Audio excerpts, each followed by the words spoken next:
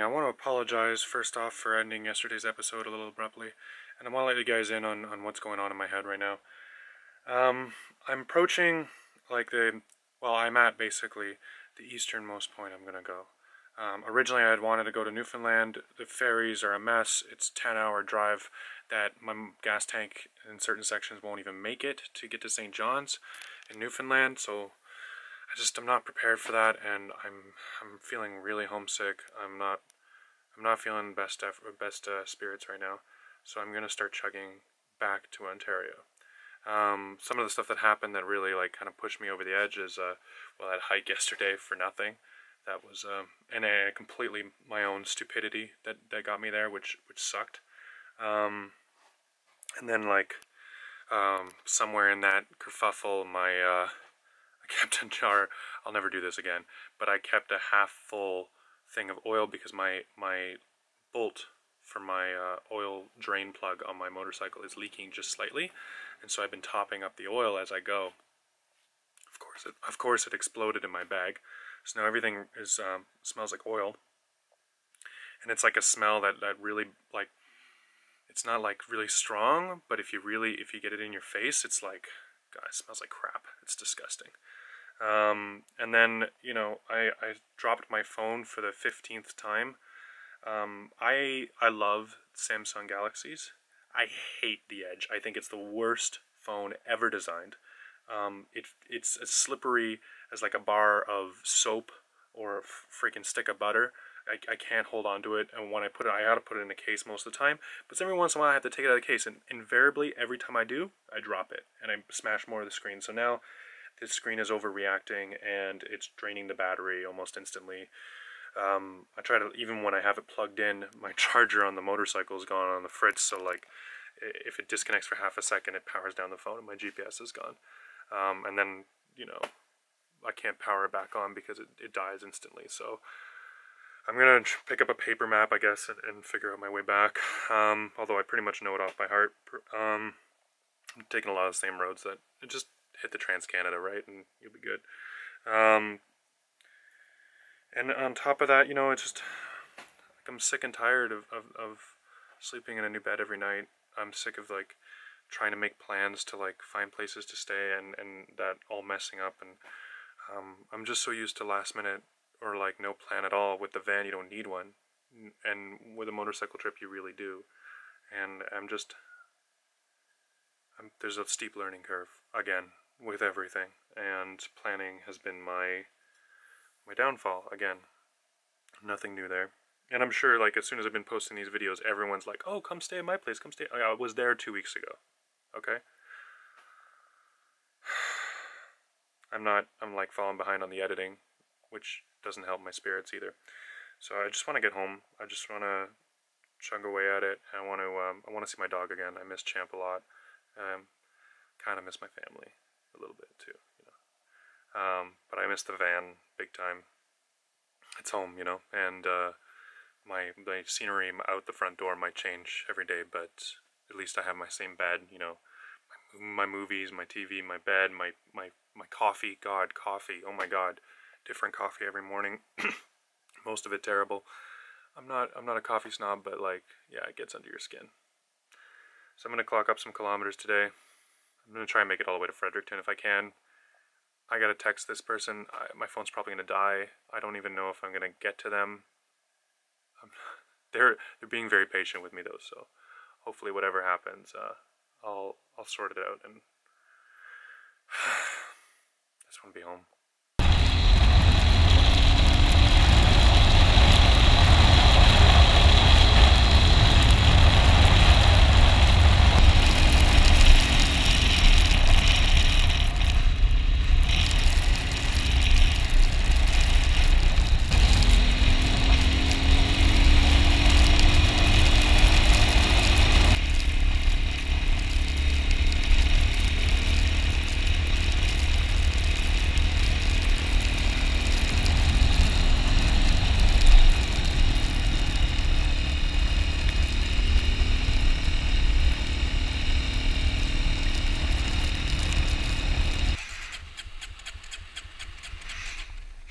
Well, it won't start now.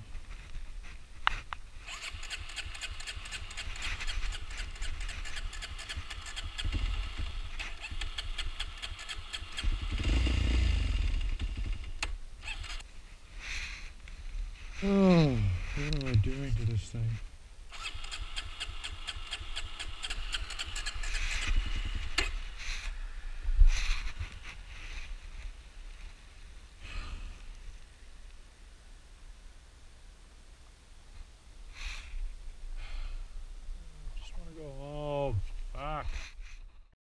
Thank you so much for this.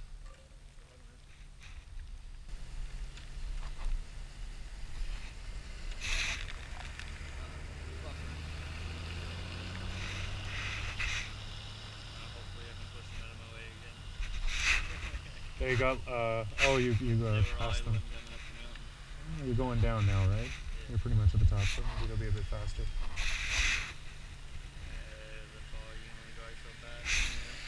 Yeah, it's true. I try not to be in a rush, but then I get stuff like this. I'll probably do it. Oh yeah, that's cool. How do you, uh.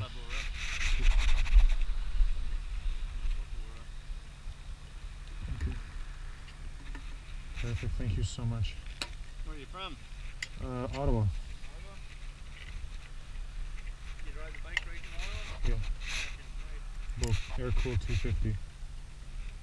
You know, usually she's pretty fucking good on gas. Uh, the mountains always been fucking. Yeah, I had it on reserve before, but I set it to Okay. primer because I figured it might might be worth a shot. Yeah. Okay, good time to go.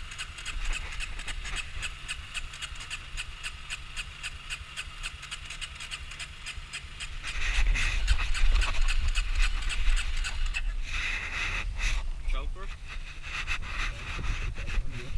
Well, that's a uniform battery. Oh, she's got an Allen key. I've got a, a, a pocket tool here. You got an Allen key? 'Cause it's Yeah, not there. Uh, maybe. Just. Right there. Okay. Really soft. Small, small.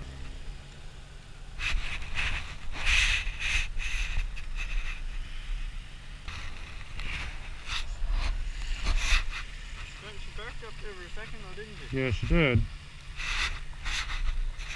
Usually the clutch, uh, yeah, with the, I find that, yeah, just don't twist the throttle when it's on clutch. Hold her for a second and let her off so you could take it.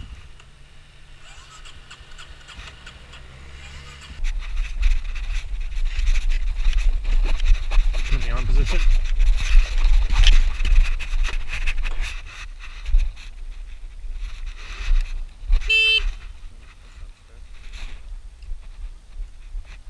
Oh, without the clutch. Or the choke.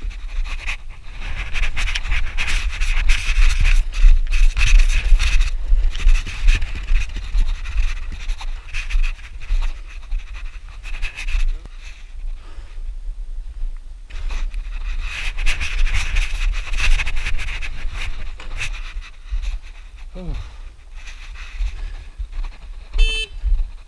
so used to my bike, it's just start button on this side. that might be more convenient to be honest.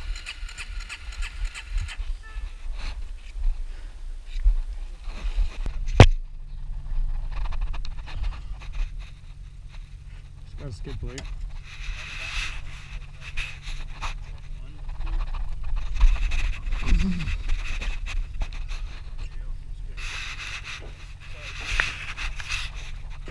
Drag this in.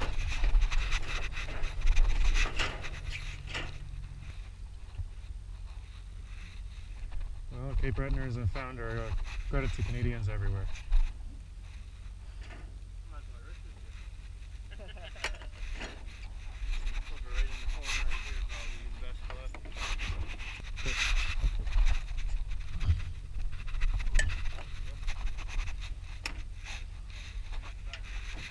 I am the granddaughter, you have no worries about it. Got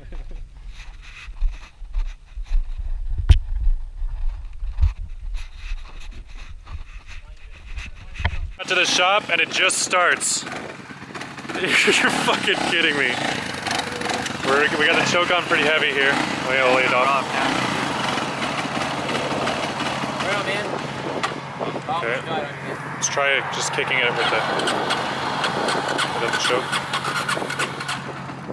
Yeah, Don't later back on. They say the cowies are finicky. eh? They, once they warm up, they're good. Takes a while to warm them up. Oh, nice to meet you, man. I'll see you around. I'll set the idle high.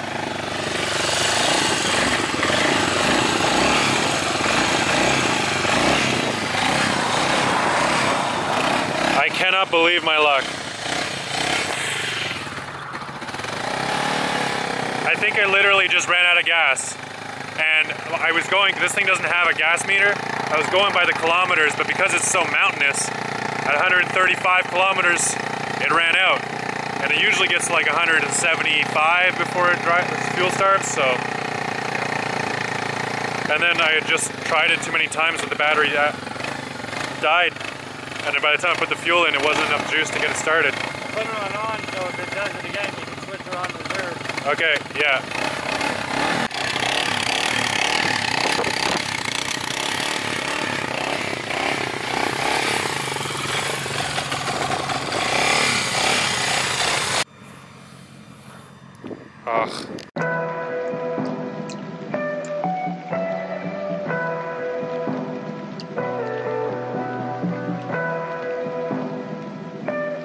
Chao.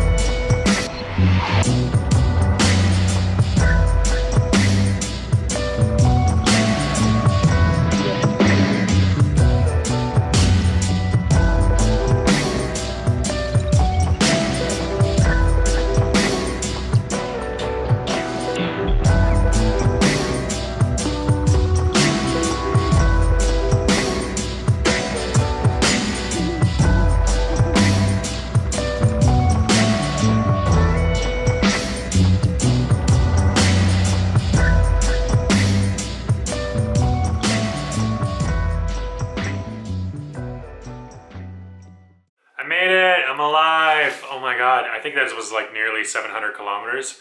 So glad. Um, no more fuel issues. Fuel tank is running kind of good. I'm gonna check it all over tomorrow. I think I'm actually gonna do another oil change on it because I'm getting paranoid.